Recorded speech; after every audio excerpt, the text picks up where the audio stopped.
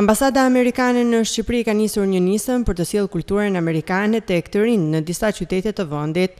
Starti i kësaj nisme ishte qyteti i Lezhës ku të rinjtë u bënë pjesë e aktiviteteve të organizuara me këtë rast. Amanda Roberson, zëvendës shefe e marrëdhënieve me publikun në Ambasadën amerikane tregon më tepër mbi këtë nisëm. Aktiviteti quhet Këndi Amerikan Lëvizës. Ne jemi këtu nga ambasadën amerikane, në këtë vit ne festojmë 100 vjetor dhe marrëdhënieve publike, marrëdhënieve diplomatike midis Shqipërisë dhe Amerikës. Dhe për këtë arsye kemi organizuar disa aktivitete në gjashtë qytete në Shqipëri.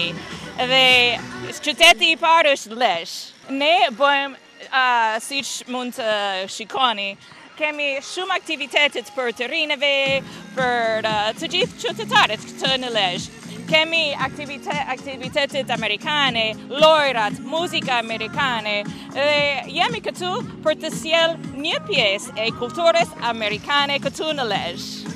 Ky aktivitet organizohet në kuadër të njëqind vjetorit të marrëdhënieve diplomatike mes Shqipërisë dhe Shteteve të Bashkuara të Amerikës.